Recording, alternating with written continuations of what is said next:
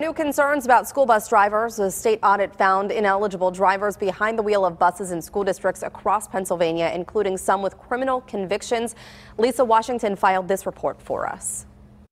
This audit was conducted by the State Auditor General's office. Those results were released on Tuesday, and they found across the Commonwealth there were 10 school bus drivers who had convictions, two of them in our area. We're talking about the Penn Hills School District. This was back in 2015 when it was discovered that one driver had a felony drug conviction, another had an aggravated assault conviction. Auditor General Eugene DePasquale warned school officials to be vigilant when it comes to background checks for bus drivers. School School bus drivers are required to meet certain qualifications and they must pass background checks. Now, in addition, school districts are required to keep the necessary files on each driver.